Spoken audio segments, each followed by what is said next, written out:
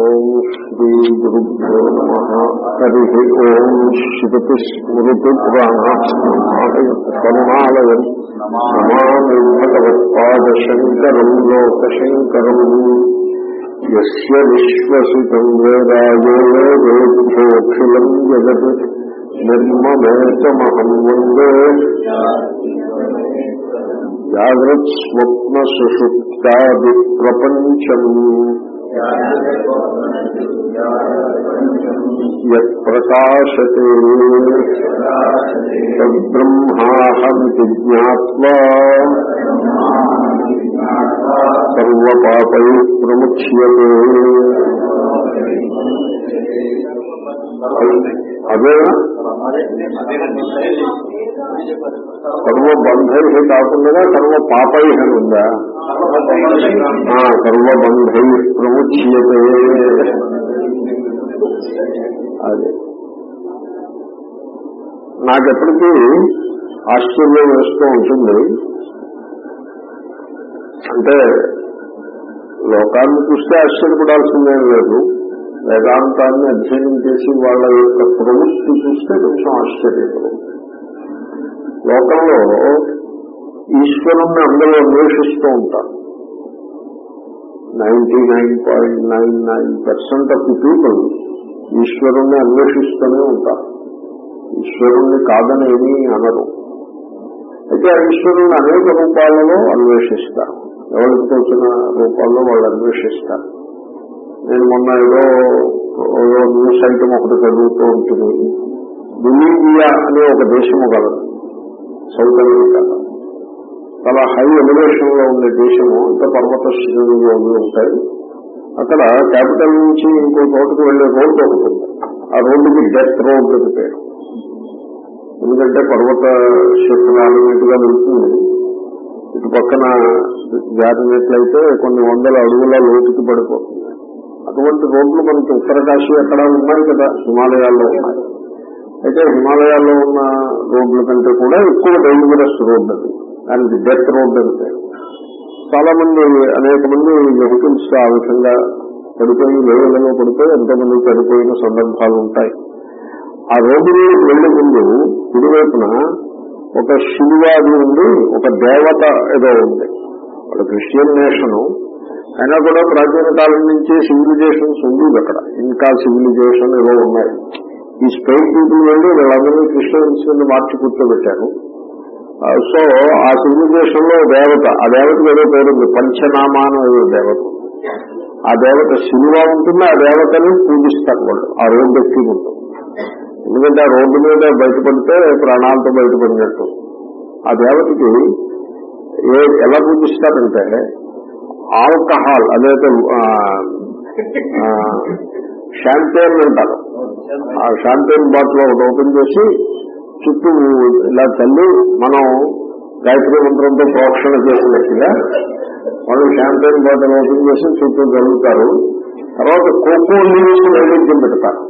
ఎందుకంటే అక్కడ బెలీవియాలో cocoa leaves వాళ్ళకి పెద్ద పంటది వాటి నుంచి కుకేన్ వస్తుంది. ఆ లీవ్స్ నైవేద్యం పెడతారు. ఈ షాంపెయిన్ బాటిల్ చుట్టూ కలిసి దండం పెట్టుకుని బయలుదేరుతారు. సో ఈ విధంగా లోకంలో సర్వత్రా మానవులు ఏదో ఒక రూపంలో ఈశ్వరుని ఆరాధిస్తూనే ఉంటారు. ఇక్కడ మన వాళ్ళు ఏదో మైసమ్మ కట్ట మైసమ్మ. తెలంగాణలో ఎక్కడైనా కట్ట ఉందంటే అక్కడ మైసమ్మ కట్ట అంటే చెరువు కట్ట. అని మైసమ్మ. అలాగే ఇంకా మీకు అటు సెక్టార్స్లోకి వెళ్తే మరిడమ్మ పల్లాలమ్మ ఆ తర్వాత నూకాలమ్మ విశాఖపట్నం డిస్ట్రిక్ట్కి వెళ్తే నూకాలమ్మ. సో ఈ విధంగా ఏదో పేర్లతోటి మనం దేవుళ్ళని ఆరాధిస్తూనే ఉంటారు అందరూ కూడా. బాగా చదువుకున్న వాళ్ళు అయితే ఏదో సంస్కృతం పేర్లు పెట్టి ఆరాధిస్తారు. దుర్గా అంటారు. లేకపోతే కాళీ అని భద్రకాళి అని భగవతి అని ఇటువంటి సంస్కృతం పేర్లు పెట్టి ఆరాధిస్తారు. చదువుకోని వాళ్ళు అచ్చతగిరి పేర్లతోటి వీళ్ళు ఆరాధిస్తారు. ఈ అచ్చతగిరి పేర్లు కూడా సంస్కృతంలో కొన్ని మూలాలు ఉంటాయి. మైసమ్మ అంటే మహిషాసుర మర్దినికి వచ్చిన పాటలు.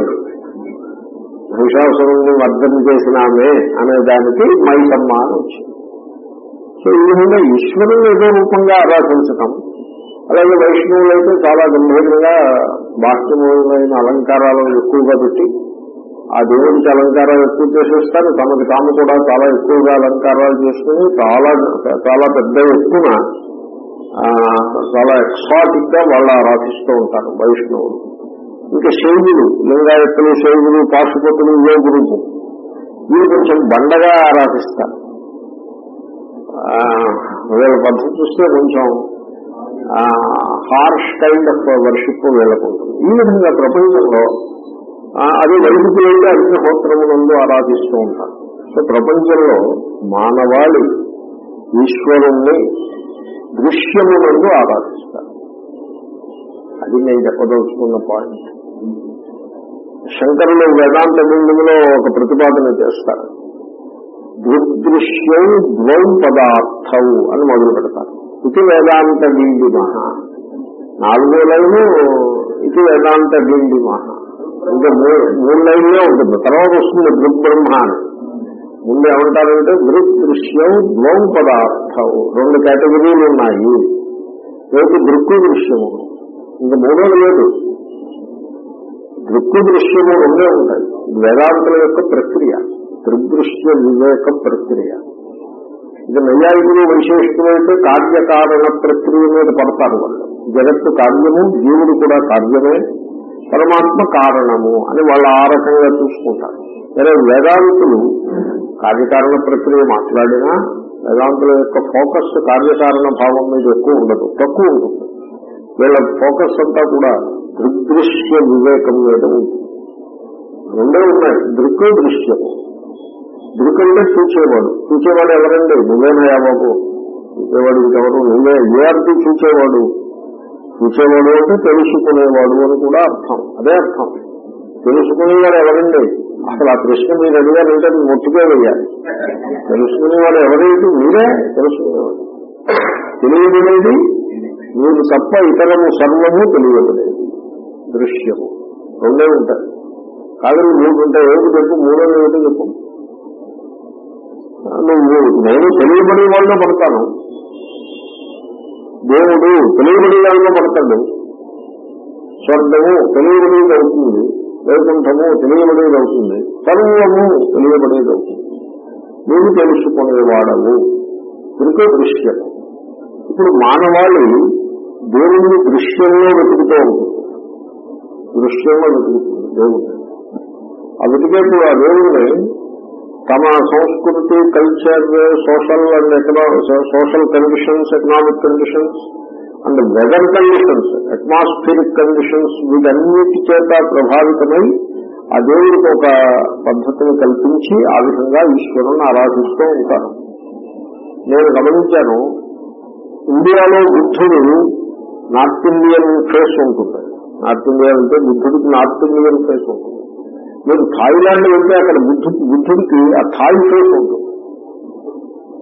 చైనా వెళ్తే బుద్ధుడికి చైనీస్ వాళ్ళని పోలి ఉంటాడు అపిలికల్లోని ఆ రకంగా చైనీస్ వాళ్ళని పోలి ఉంటాడు కంబోడియా అయితే బుద్ధుడికి కంబోడియన్ ఫీచర్స్ ఉంటాయి కంబోడియాలో బ్రహ్మదేవుడిని ఆరాధిస్తారు ఆ బ్రహ్మదేవుడు కూడా కంబోడియన్ ఫీచర్స్తో ఉంటాడు ఇండియన్ ఫీచర్స్తో ఉంటాడు. అంటే ఇదంతా ఎందుకు చెప్తున్నానంటే అలాగే మీరు మీరు సపోజ్ బ్రెజిల్ అక్కడికి వెళ్ళారనుకోండి అక్కడ క్రైస్ట్ బ్రెజిలియన్ ఫేస్ కలిగి ఉంటాడు. అది యూరప్ వచ్చారనుకోండి ఈ క్రైస్ట్కి యూరోపియన్ ఫేస్ ఉంటుంది. మళ్ళీ యూరోపియన్లో కూడా ఇటాలియన్ ఫేస్ ఉంటుంది. ఇటలీలో రోమ్లోనూ అక్కడ ఇటాలియన్ ఫేస్ ముస్లిం కూడా ఉంటాడు క్రీస్తు.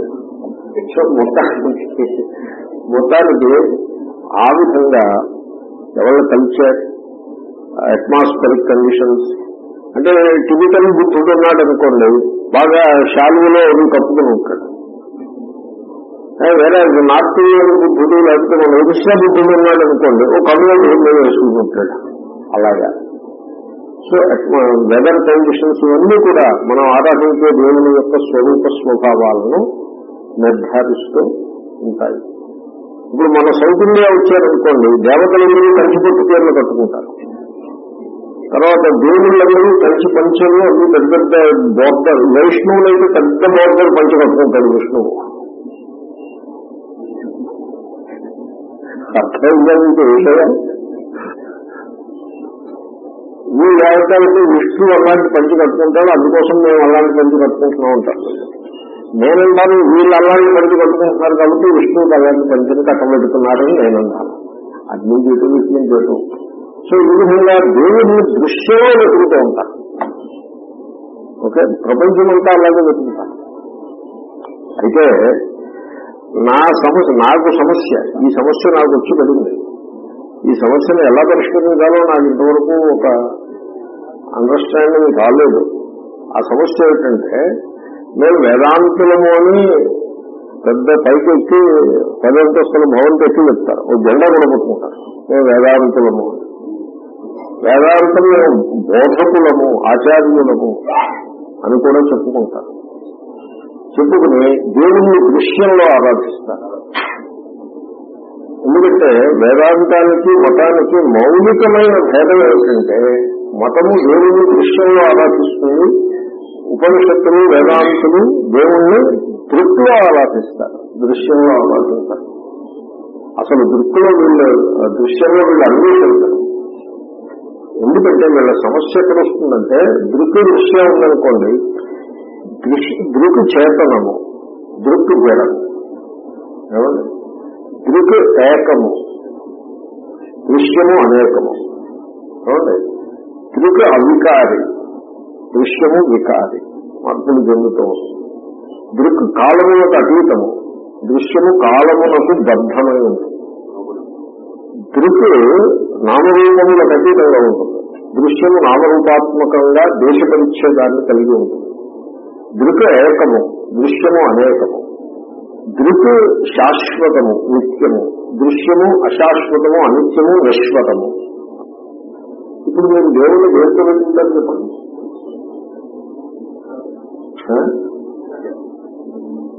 You tell me where do want to worship or search for God దృశ్యంలో వెతకాలనుకుంటున్నారా దృక్కులో వెతకాలనుకుంటున్నారా దృక్కులో వెతకాలి.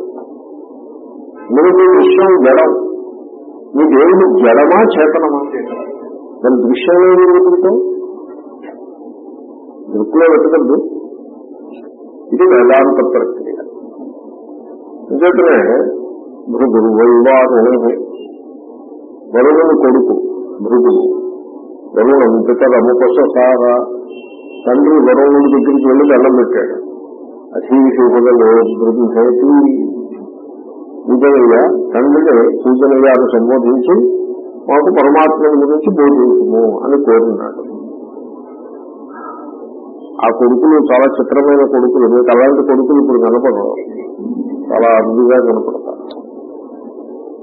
తస్మా ఏతత్రోవాచ ఆ కొడుకును ఉద్దేశించి ఆ వరుణుడు తండ్రి ఈ మాట పెట్టాడు అన్నం ప్రాణం చక్షుశ్రోత్రం మనోవాచమితి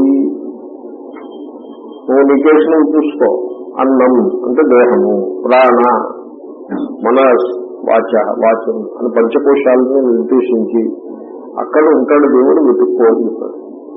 ఎలా వెతుక్కోవాలని చెప్పాడు కానీ ఏది వెలికి వెతుక్కోవాలని చెప్పలేదు. ఉపనిషత్తులలో how to search for God చెప్పారు తప్ప హౌ టు సెర్చ్ చెప్పారు తప్ప వాట్ టు సెర్చ్ చెప్పలేదు. ఏమేమి వెతకాలో చెప్పలేదు. ఎలా వెతకాలో చెప్పారు? ఎందుకంటే దేవుని వెతకాలని చెప్తే అది ఇంక దేవుడే కాకుండా పోతుంది. అది నేను వెతికి అన్వేషించుకోవాలి. పురాణాల్లో చెప్పినట్టుగా విష్ణువుని వెతుక్కో శివుని వెతుక్కో అలా చెప్పలేదు. వీళ్ళు ధ్యానంలో మరి అదే వెతుక్కుంటారు కదా. దేహత్యాగం చేసిన తర్వాత వైకుంఠానికి వెళ్ళి దేనికోసం వెళ్తున్నాడు వైకుంఠం విష్ణువుని వెతుక్కుంటూ పోతున్నాడు. అంటే వాడికి ఏది వెతుక్కుంటున్నానో వాడికి ముందు తెలుసున్నమాట కానీ ఉపనిషత్తుల్లో అలా చెప్పారు. నువ్వు వెతకాల్సింది ఎలా వెతకాలో చెప్తారు తప్ప దేన్ని వెతకాలో చెప్పరు. ఎక్కడ వెతకాలో చెప్తారు? దృక్కులో వెతుక్కో. అదే ఆ శ్లోకం. కాబట్టి నీ లోపల నువ్వు ఆ బ్రహ్మను వెతుక్కో. ఏమండి? ఎలా వెతుక్కోవాలో చెప్తాడు. వేరు చెప్పడు. ఎలా వెతుక్కోవాలి? నీ అనుభవములను నువ్వు పరిశీలన చేయి. నువ్వు నీ అనుభవాలను పరిశీలిస్తే ఈ అనుభవములు అనేకం ఉంటాయి. పొద్దున్న నిద్రలేచింది మొదలుకుని అన్ని అనుభవాలే ఏవేవో అనుభవాలు ఉంటాయి. కాబట్టి వీటిని అనుభవములను మూడు రాష్ట్రులుగా పెట్టారు. ఒకటి జాగ్రత్త అవస్థ. అనేక అనుభవాలు కలుగుతూ ఉంటాయి. ఎలా కలుగుతాయి? మనస్సు ఇంద్రియముల ద్వారా జాగ్రత్త అవస్థ ఎందు అనుభవాలు కలుగుతూ ఉంటాయి. తర్వాత స్వప్నావస్థ స్వప్నము కళ. దాంట్లో అనుభవాలు కలుగుతాయి. అదెలా కలుగుతాయి? కేవలము మనస్సు ద్వారా అనుభవాలు కలుగుతాయి. ఇంద్రియముల యొక్క పాత్ర ఏమీ ఉండదు. ఇంకా తర్వాత సుశుక్తి అంటే మనస్సు కూడా నిద్రపోతుంది. అప్పుడు ఏ అనుభవములు లేని అనుభవం. అదే అనుభవం ఏ అనుభవములు లేని అనుభవం. ఇది ఎలాగంటే బాగా చక్కగా వెలు వెలుతురుగా ఉన్న రూమ్లో నిలబడి ఉన్నాడు. ఆ రూమ్లో వస్తువులను చూస్తున్నాడు. అదొక అనుభవం. ఇప్పుడు లైట్ బాగా డల్ అయిపోయింది. బాగా డల్. సినిమాల్లో ఫస్ట్ షో సినిమాకి వెళ్తే మ్యాట్నో సినిమాకి వెళ్తే తలుపులన్నీ వేసి కట్టెలు వేసేసి సినిమా ప్రారంభించే ముందు ఎలా ఉంటుంది? చీకటి చీకటిగా డల్గా ఉంటుంది. కనపడి కనపడనట్టు ఉంటుంది అది రెండో అనుభవం. కటిక చీకటి. ఇది దీపాలు పూర్తిగా ఆర్పేశారు. అది మూడో అనుభవం. ఏది కనపడని అనుభవం. అంటే అన్ని స్పష్టంగా కనపడే అనుభవము మసక మసకగా కనపడే అనుభవము ఏది కనబడని అనుభవము అలాంటిది జాగ్రత్త స్వప్న సుషుప్తి అనుభవము ఉండాలంటే మీకు మూలలో ఒక ధాతువు ఉండాలి. ధాతువు అనే మాట పట్టుకోండి. ధాతువు అంటే నగలకు ధాతువు ఏంటి? బంగారం. ఓకే. వస్త్రములకు ధాతువు పత్తి అలా తీసుకోండి. తరంగములు మొదలైన వాటికి ధాతువు నీరు అనుభవములకు ధాతువు ఎరుక. తెలివి తెలివి లేకుండా అనుభవం కలుగుతుందా? తెలివి ఉంటేనే అనుభవం కలుగుతుంది. ఈ టేబుల్ అనుభవం ఉంటుందా? ఉండదు. ఎందుకంటే అది జడము చేతనము కాదు. ఆ చేతన ఆ తెలివి ఉండాలి చైతన్యం ఉండాలి. అప్పుడే అనుభవములు కలుగుతాయి. కాబట్టి జాగ్రత్త స్వప్న సుషుప్తి అనే మూడు అనుభవములకు మూలమునందుండే ధాతులు ఓకే? ఆ ధాతువే ఈ మూడు స్టేట్స్ మూడు అవస్థల ఎందలి సర్వమును ప్రకాశింపజేస్తోంది. ఆ ధాతువు అది బ్రహ్మ. జాగ్రత్త వ్యవస్థలో నేను ఒక వ్యక్తిని అని వీడు అనుకుంటాడు. ఆ వ్యక్తి బ్రహ్మ కాదు. స్వప్నావస్థలో మరో వ్యక్తిగా ఉంటాడు వీడు. ఆ వ్యక్తి కూడా బ్రహ్మ కాదు. సుషుప్తిలో అవ్యక్తము. ఏమీ తెలియని అవ్యక్తము. అది బ్రహ్మ కాదు. జాగ్రత్త వ్యవస్థలోని వ్యక్తిని ఆ వ్యక్తి చుట్టూ ఉన్న ప్రపంచమును. ఓకే? స్వప్నావస్థలో వ్యక్తిని ఆ వ్యక్తి చుట్టూ ఉండే ప్రపంచమును. సుషుప్తి గల అవ్యక్తమును కూడా ఏది ప్రకాశింపజేస్తూ ఉంటుందో ఏ ఎరుక ప్రకాశింపజేస్తూ ఉంటుందో అది బ్రహ్మ. ఓకే? అది దేవుడు. అర్థమైందండి మరి నేనెవరు? చూడు జాగ్రత్త అవస్థలోని వ్యక్తి కల్పితము అది నీవు కాదు. అసలు మీరు ప్రశ్న వేసుకుంటే జాగ్రత్త అవస్థలో వ్యక్తి నేను కాను అని తెలియడానికి ఎంతోసేపు పట్టదు. కాతే కాంత కష్టే పుత్ర సంసారోయ మతీవ విచిత్ర. ఇప్పుడు ఈమె నా భార్య అంటాడు. ఈమె నా భార్య అన్నప్పుడు నేను భర్తను అనే వ్యక్తిగా నిలబడి ఉంటాడు. అవునండి? ఆ వ్యక్తిత్వము అది బరువ తేలిక? బరువేగా? ఆ వ్యక్తిత్వంలో సుఖ దుఃఖముల మిశ్రమం ఉంటుందా లేకపోతే సుఖమే ఉంటుందా? సుఖ దుఃఖముల మిశ్రమం ఉంటుంది. తర్వాత మీరు ఎప్పుడైనా అలిసి సొలసి కొంత విశ్రాంతి కావాలనుకుంటే ఆ వ్యక్తిత్వాన్ని అలా అట్టుపెట్టుకుంటే విశ్రాంతి జరుగుతుందా అది పక్కన పెడితే జరుగుతుందా చాలు ఇంత ఇంత మటుకు విచారం సరిపడుతుంది. ఆ వ్యక్తిత్వము కల్పితము. దాన్ని మీరు పక్కన పెట్టగలిగారంటే కల్పితమే కదండి అలాగే నేను తండ్రిని అనే వ్యక్తిత్వము కల్పితము నేను ఆఫీసర్ని. అది ఎంతకాలం ఉంటుంది ఆ వ్యక్తిత్వం? వయస్సు ఉత్తర వయస్సు వచ్చే వరకు ఉంటుంది. ఉత్తర వయస్సు రాగానే ఇంటికి పంపిస్తారు. అప్పుడు ఎక్స్ ఆఫీసర్ అంటారు మొన్న నరేంద్ర మోడీ గారు ఇరవై ఐదు మంది సీనియర్ ఆఫీసర్లని ఇంటికి పంపించేశారు ఎందుకంటే వాళ్ళ మీద లంచం పుచ్చుకున్నారనే ఒక ఆరోపణ వచ్చినది. ఇన్కమ్ ట్యాక్స్ డిపార్ట్మెంట్లో చాలా సీనియర్ మోస్ట్ ఆఫీసర్స్ ఒక పాతిక మందికి సెలవు ఇంటికి ఇంటికి పంపించేశారు డిస్మిస్ చేసి ఇంటికి పంపించేశారు బలవంతంగా రిటైర్ చేసి పంపించేశారు ఇంక ఇప్పుడు వాళ్ళ ఆఫీసర్ కాదు. కాబట్టి ఆయన ఆఫీసర్ అనే వ్యక్తిత్వము కూడా అది బరువు కల్పితము. మీరు మీకు మనస్సుకి అలస్యమైన మనిషికి విశ్రాంతి దొరకాలంటే ఉపాయం ఏమి? అసలు ఎందుకు అలసిపోతున్నాడు రెండు మీరు చూసుకోండి. నేను భర్తను భార్యను తండ్రిని కొడుకును ఆఫీసర్ని ఇది అది అని అలసిపోకండి అవి కొంచెం పక్కన పెడితే విశ్రాంతి లభిస్తుంది. దీన్ని బట్టి ఈ వ్యక్తి అనేది కల్పితము. వ్యక్తిత్వములకు అతీతమైన చైతన్యం ఏది కలదో అది నా స్వరూపము. అని అర్థం చేసుకోవచ్చు. స్వప్నావస్థలో ఇంకొక వ్యక్తి ఉంటాడు. అది కల్పితమని మీకు పాఠం చెప్పక్కర్లా. అది తెలుసుకొని వాటిని చెప్పినప్పుడు దాన్ని దృష్టాంతంగా తీసుకుంటాం. ఈ ప్రశ్న ఇది వినుంటారు మీరు. యాజ్ఞవల్క్య మహర్షిని జనక మహారాజు అడిగాడు. నిన్న స్వప్నంలో నేను బిచ్చగాలను ఉదయం నిద్ర లేచాక మహారాజును నేను అసలు ఎవరు అని అడిగాడు. ఆయన మంచి వేదాంతి కాబట్టి ఆ ప్రశ్న అడిగాడు. వేదాంతులు కాని వాళ్ళు ఆ బిచ్చగాడు తప్పు నేను మహారాజు మీద కరెక్ట్ అన్నట్టు పెట్టుకుంటారు ఆయన వేదాంతి కనుక అడిగాడు ఆ ప్రశ్న. అడిగే యాజవంతుడు ఏమి నువ్వు రెండు కాదు అంతేగాని నువ్వు మహారాజు అని చెప్పలేదు. నువ్వు రెండు అర్థమైందండి ఓ మహాత్ముడు ఉన్నాడు. మహారాజు పిలుస్తూ భిక్షకు వెళ్ళాడు. భిక్ష అయిన తర్వాత మహాత్ముడు నడుస్తున్నాడు. వాక్యాల కింద నడుస్తున్నాడు. మహారాజు కూడా ఆయనతో పాటు నాలుగు అడుగులు వేస్తున్నాడు ఓ ఈ కబుర్లో ఆ కబుర్లో. మహారాజు అన్నాడు మహాత్మాజీ నీకు నాకు తేడా ఏముంది? అని అడిగాడు. అయితే మా తేడా అసలంతో తేడా ఏమీ లేదు. కానీ తేడా ఉందని అనుకున్నట్లయితే నేను ముక్తులను నేను బొద్ధుడవు అంటే మహారాజు దీంట్లో బంధం ఏముందండి? నేను నేను ఉన్నాను మీరు ఉన్నారు బంధం ఏమిటని అడిగాడు. అంటే మహా మా- ఆయన చెప్పాడు నేను ఇటు వెళ్తున్నా ఇంకా నేను వెనక్కి వెళ్ళను. నేను ముందుకే పోతున్నాను ఇంకా వెనక్కి వెళ్ళను.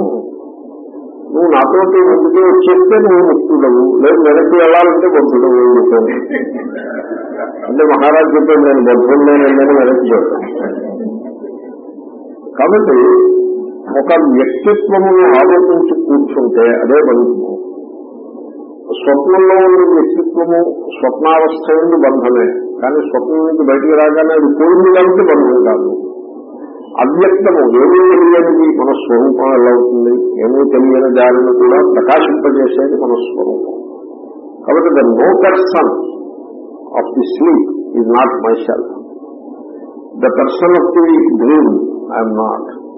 The person of the waiting I'm not. Then whatever Araku నేను ఎవరు ఈ మూడు అవస్థలను ప్రకాశింపజేసే ఆ ఎరుక ఏది గలదో అదే నేను.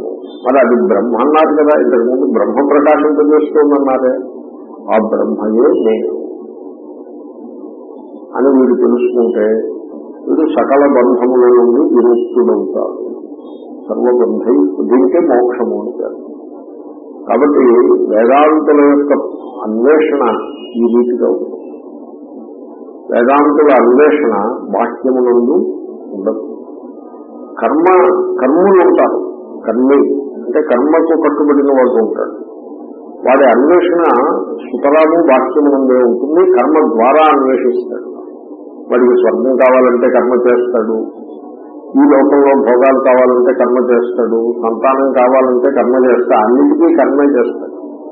కర్మ ద్వారా వాడు తను ఒక లక్ష్యాన్ని చేరుకోవాలి అని ప్రయత్నిస్తాడు. అది కర్మ యొక్క లక్షణం. సరే భక్తుడు ఉన్నాడనుకోండి భక్తుడి ద్వారా ఉపాసన ద్వారా ఒక లక్ష్యాన్ని చేరుకోవాలని ఉపాసకుడు ప్రయత్నిస్తాడు.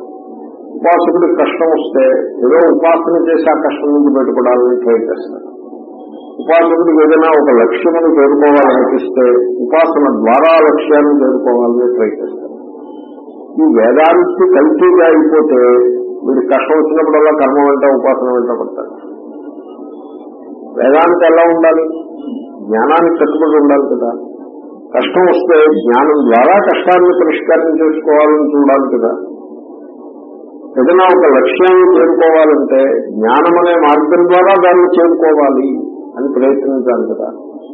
కర్మయోగైన సాంఖ్యానం జ్ఞానయోగైన కర్మయోగైన యోగిన జ్ఞానయోగైన సాంఖ్యానం కర్మయోగైన యోగిన. కర్మ ఏమిటంటే కర్మ మార్గంలో వాడు అన్వేషించుకుంటాడు. జ్ఞాన ప్రధానుడు సాంఖ్యులంటే జ్ఞాన ప్రధానులు అయితే జ్ఞాన మార్గంలో వాళ్ళు అన్వేషించుకుంటారు మీరేమో మాది జ్ఞాన మార్గం అంటే మీరు కర్మ మార్గంలో అన్వేషిస్తున్నారంటే అది సముచ్చయము అది కల్తీ. అది ఫెయిల్ అయిపోతుంది అది వర్కౌట్ కాదు. కాబట్టి మనం జ్ఞాన మార్గంలో ఈశ్వరుని అన్వేషించాలి. అంటే దృక్రూపంగా దృక్కు నుండి ఈశ్వరుని అన్వేషించాలి తప్ప దృశ్యంలో ఈశ్వరుని అన్వేషించేదేమీ ఉండదు. కాబట్టి మనకి బంధ విముక్తి దృక్కు ఈశ్వరుని అన్వేషించటం ద్వారానే లభిస్తుంది. తద్ బ్రహ్మాహమితి జ్ఞాత్వ సర్వబంధై ప్రముచ్యతే. ఓకే? అందం శ్లోకాన్ని అవచ్ఛేదం. జాగ్రత్ స్వప్న సుసుప్త్యాది ప్రపంచం యత్ ప్రకాశతే తత్ బ్రహ్మ అహం ఇది జ్ఞాత్వా సర్వబంధై ప్రముచ్యతే యత్ ఏ చైతన్యము జాగ్రత్ స్వప్న సుశుద్ధ్యాది ప్రపంచం జాగ్రత్త అవస్థ స్వప్నావస్థ సుషుప్త్యవస్థ మొదలైన ప్రపంచమును ప్రకాశతే ప్రకాశింపజేయుచున్నదో. అలా నిచ్చి పెట్టాలి దాంట్లో ప్రకాశయతి నిచ్చిపెట్టాలి ఓకే? లేకపోతే నిచ్చి పెట్టకుండా ఇంకో పద్ధతి ఇంకో ఇంకో రకంగా చెప్పచ్చు. ఎటు దేని వలన పంచమి ఓకే? జాగ్రత్త స్వప్న సుషుప్త్యాది ప్రపంచము ప్రకాశతే ప్రకాశిస్తున్నదో. నిత్యక్కర్లేకపోతే మంచిగా పెట్టుకోవాలి. ఓకే? నిచ్చి పెట్టుకుంటే ఎత్తు ప్రథమ ఏకవచనంగా చెప్పుకోవచ్చు.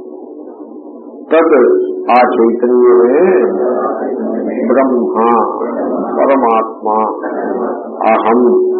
అది నేనే ఇది అని జ్ఞాత్వా తెలుసుకుని సర్వబంధు సకల బంధముల నుండి ప్రముచ్యతే విముక్తుడగుచున్నాడు.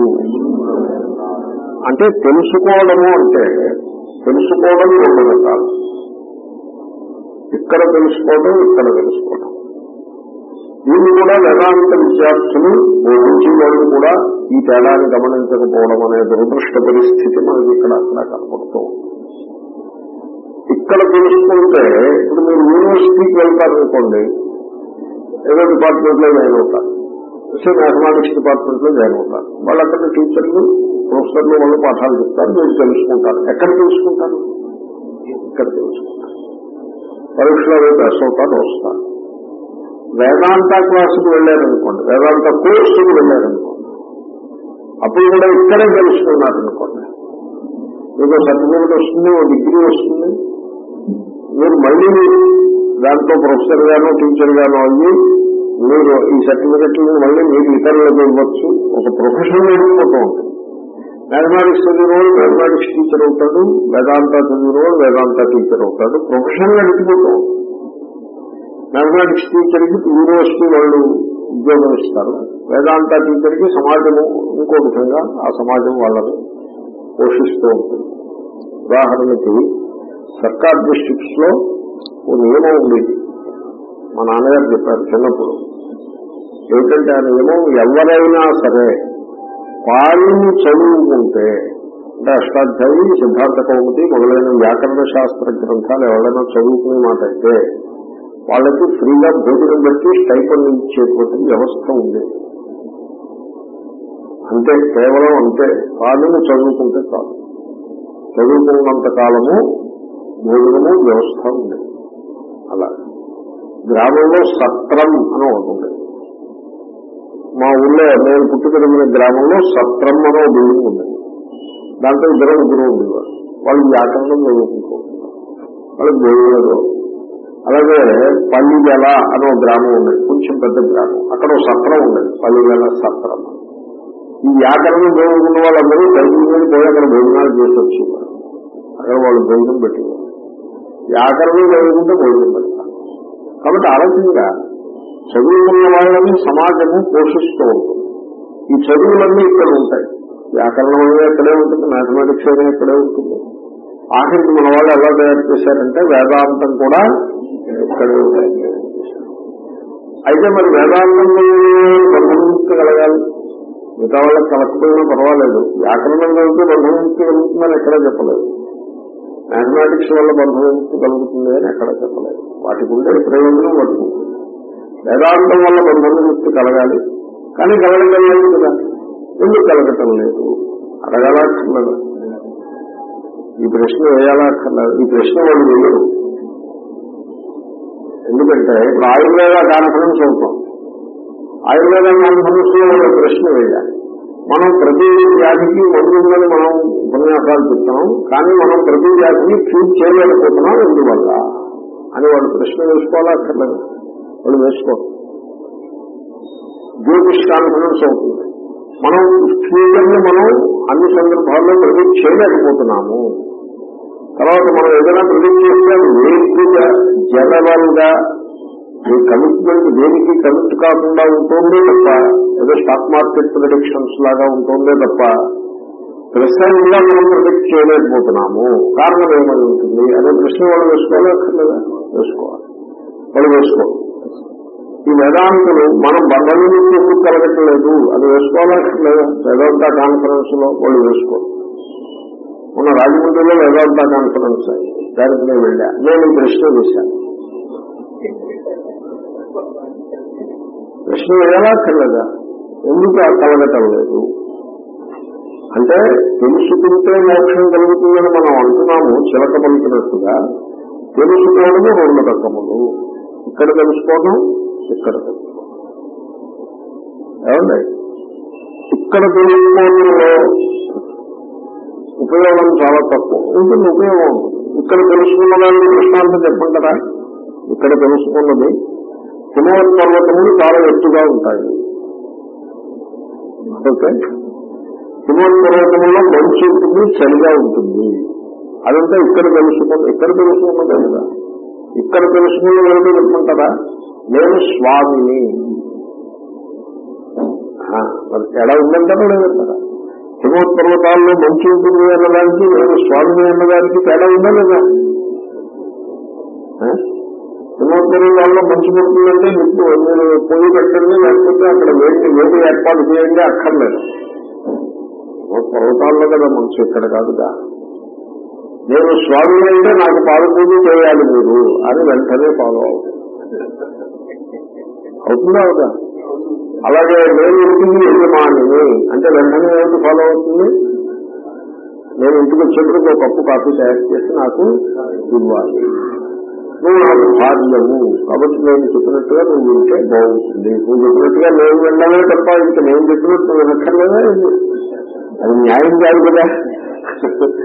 న్యాయబద్ధంగా ఉండాలి. కాబట్టి ఈ తెలుసుకోవడానికి ఆ తెలుసుకోవడానికి తేడా ఉంది ఇక్కడి నుంచి బెంగళూరు. ఐదు వందల కిలోమీటర్లు. తెలిసిందా? ఎక్కడ తెలిసింది ఇక్కడ తెలుసు. నేను ఐదు వందల ఎనిమిది అంగుళాలు ఉన్నాను. అది ఎక్కడ తెలిసింది ఇక్కడ. కాబట్టి ఈ తెలియడం లేదు ఈ తెలియడం లేదు చిన్నపిల్లవాడికి ఈయన నా తల్లి అని తెలుస్తుంది. మీరు ఎప్పుడైనా గమనించారా? తెలుస్తుంది. నేను ఒకసారి గమనించా. ఆ కూలి పనులు చేస్తూ ఉంటుంది. అక్కడ ఏదో వెయ్యి తగ్గితే మేస్త్రి ఉంటాడు. మేస్త్రి స్కిల్డ్ వర్కర్. ఈ పక్క మోసేది సిమెంట్ మోసేది కలిపేది వీళ్ళు అన్స్కిల్డ్ వర్కర్స్. దాంట్లో లేడీస్ ఉంటారు. ఈ లేడీస్ పని ఏంటంటే ఆ ఇటకలు తీసి ఇక్కడ నుంచి అక్కడ మేస్త్రికి ఇష్టం ఉండడం వాళ్ళ పని. మేస్త్రి అక్కడ కూర్చొని ఆ లంబము అది వేసి జాగ్రత్తగా కడుతూ ఉంటాడు సిమెంట్ వేసి. ఈమె పని కేవలం ఇటకలను అందివ్వడం. ఓకే? ఆమెకు కొడుకున్నాడు. రెండేళ్ళ పిల్లాడు. అమ్మాయో అబ్బాయో కొడుకో కుదురో ఆ పిల్లలు అక్కడ కూర్చోబెట్టి నేను ఇటుకలు అనిపిస్తాం ఆ పిల్లాడు ఆడుకుంటున్నాడు ఆ మట్టిలో ఆడుకుంటున్నాడు. నేను బయట చూశా. రెండో అంతస్తులో చూశా. చూసిన డబ్బులు నాకు నా దగ్గర చాక్లెట్లు ఉన్నాయి. ఈ చాక్లెట్లు మనం కూర్చొని మనం తింటామా చాక్లెట్లు మనం తింటే రోగం వస్తుంది. చాక్లెట్లు పిల్లలకి ఎలా పెట్టాల్సింది? ఆ పాపం ఆ పిల్లలు మూడేళ్ళు నాలుగేళ్ళు పిల్లడో పిల్లో నాకు గుర్తులేదు వాళ్ళు చాక్లెట్ ఖరీదైన చాక్లెట్ ఎప్పుడు తిని ఉండరు. ఎప్పుడైనా వీడియో ఉండొచ్చు కానీ తిని ఉండరు. నేను రెండు చాక్లెట్లు తీసుకెళ్ళి అబ్బాయికి ఈ- శిశువుకి బాబు ఇద్దామని వెళ్ళా. వాళ్ళు నన్ను చూసి తగ్గితే నా అమ్మ దగ్గరికి వెళ్ళిపోయాడు అంటే ఇప్పుడు కొత్త వాళ్ళు మీరు వేషం అది గట్టిగా ఉందని out of kind of uncertainty uncertainty fear అనేది కాదు. పరిగెత్తుని అమ్మ వెళ్ళిపోయాడు అమ్మ చెప్పింది ఏం పర్వాలేదు స్వామి నేను జాగ్రత్త చేస్తున్నాడు తెచ్చుకో అని అమ్మ ఎంకరేజ్ చేసింది. మెల్లమెల్లగా సందేహిస్తూ సందేహిస్తూ నా దగ్గరికి వచ్చే రెండు చాకులెట్లు చేపట్టగానే ఇలా మూసేసి తాడు తిప్పేసి పరిగెత్తుకుని వెళ్ళి అమ్మ వెళ్ళిపోయాడు సో ఆ బాబుకి లేకపోతే ఆ శిశువుకి ఈమె నా తల్లి. She my protection she my soul whole and soul of life అని తెలుసు. ఎక్కడ తెలుసు? ఇంకా అసలు ఇది డెవలప్ కాలేదు. ఇది డెవలప్ అయిన తర్వాత ఇది పోతుంది.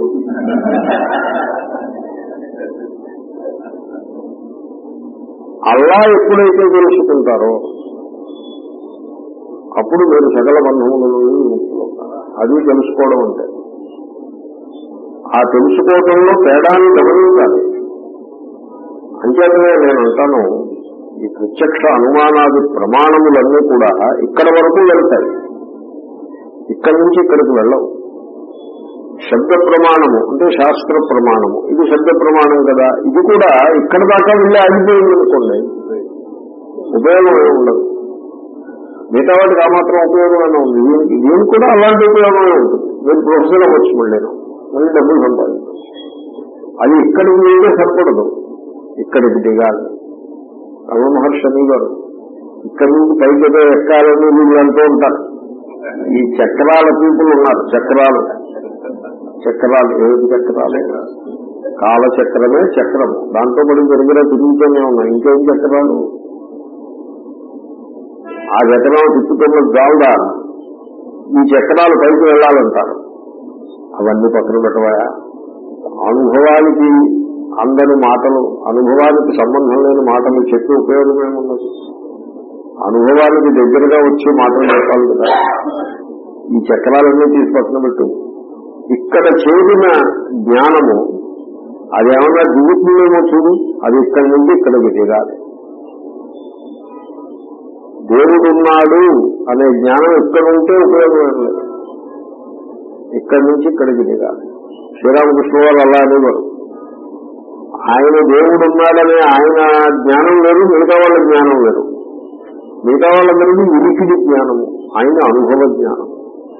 అంటే ఇక్కడ జ్ఞానం కాదు ఇక్కడ జ్ఞానం. సర్వబంధవి ప్రముచ్యతే ఇప్పుడు మేము స్వామిని అంటే ఏమిటవుతుందో తెలుసునండి దాన్ని ఇంగ్లీష్లో ఏమంటారంటే నార్సిసిజం అని అంటారు. ఏమండి? ఈ అమెరికన్ అసోసియేషన్ ఆఫ్ సైకియాట్రిస్ట్ వాళ్ళ మాన్యువల్ ఒకటి ఉంది. నేను చదివాను ఆ మాన్యువల్. కొద్ది ఓ కొంత చదివాను. చిన్నదిగా ఉంటుంది మాన్యువల్ అంటే. అమెరికన్ అసోసియేషన్ ఆఫ్ సైకియాట్రిస్ట్ ఇండియాలో ఇంకా సైకియాట్రీ అంత పెద్ద డెవలప్ కాలా. ఈ మధ్యన అవుతూ ఉంది మనం. దాంట్లో నార్సిసిస్టిక్ పర్సనాలిటీ డిజార్డర్ అని ఒకటి ఎంపీడీ ఎలా అయితే obsessive compulsive disorder hyper attention hyper activity attention deficiency disorder ఇలాంటి డిజార్డర్స్ జనరల్ యాంగ్జైటీ డిజార్డర్ ఇలాంటి డిజార్డర్లు ఎలా అయితే అవన్నీ ఉంటాయో అవన్నీ కూడా that is diagnostic uh, manual. Narcissistic personality disorder అని ఉంటుంది.